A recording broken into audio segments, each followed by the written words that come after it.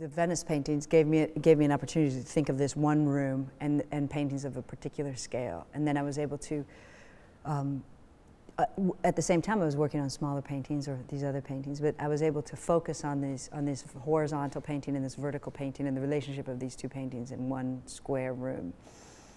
Then that's not an opportunity I would have outside of that. So something very interesting I think happened in the paintings because of that. And so opportunities like that come, come around that are that offer a new direction in the studio practice. The, the, the hardest part of, of this work is to feel is to feel inferior to what you're trying to do, you know, like to feel that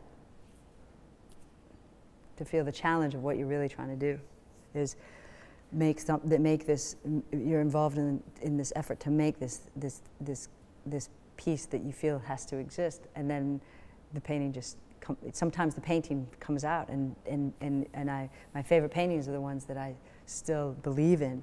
And then the other ones, they just, they, they, they you know, they have a different, you have a different relationship with them.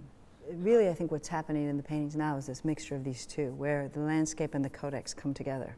And, and these elements, they, they become elements in the evolution of maybe a different language or or the merging of, so, and I'm thinking about that really in terms of my, the language of my work, but so that these, so that it, in, par, in parts it, they, the paintings appear as landscape or spatial, but in other parts they're very flat and very much, um, they, they seem to operate much more like an index or a codex.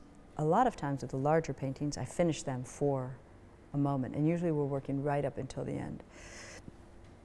I don't know what would happen if, there, if, I, that, if those deadlines didn't exist. Um, I don't know how long it would take, how, if, if, many times, there's a few times where I've actually asked for a painting back to finish it.